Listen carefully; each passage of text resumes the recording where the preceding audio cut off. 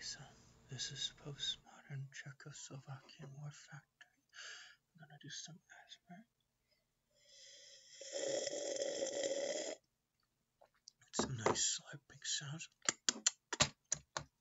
taps. Just wanna get you some tingles. And I'm gonna tell you a story about the origin of grocery stores, you see. Can sometimes go and talk in a nice cute kawaii voice. Yay! Oh, oh. and um, yeah, so um Nico, Nico, nee.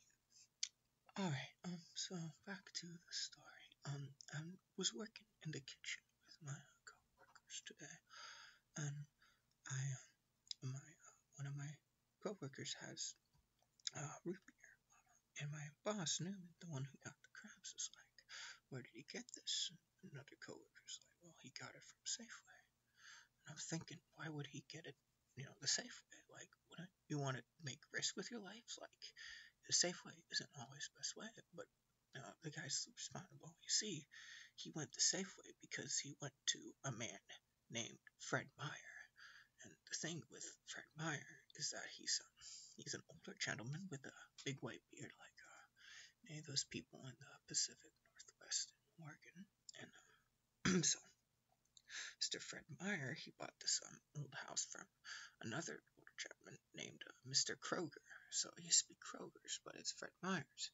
And so my friend, he um, ended up going to Fred Meyer's, and um, he, you know, he you go into the garage and he has a bunch of mini fridges, and they're full of root beers and other sodas. And Fred Meyer works with other people. He works with his co-workers. He works with his co, and they set the costs together. So they like to call themselves Costco.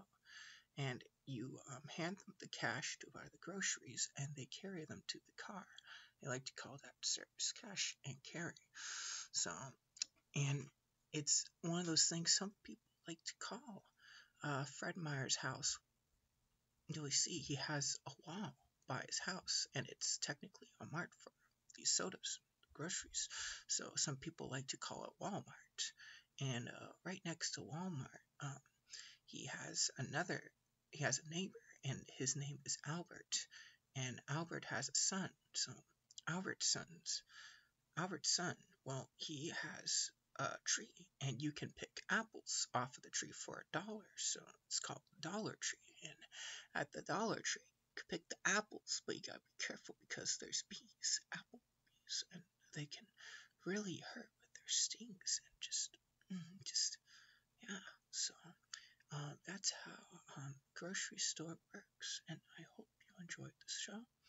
Um, I hope you got some really nice dang tingles, uh, Pepe tingles, just uh, crawling down your spine, just absolutely a bizarre adventure. Just just tingles everywhere, and um, yeah, I could maybe tell you about the origins of uh, fast food next. All right, bye bye. Bye guys, it was very nice to talk.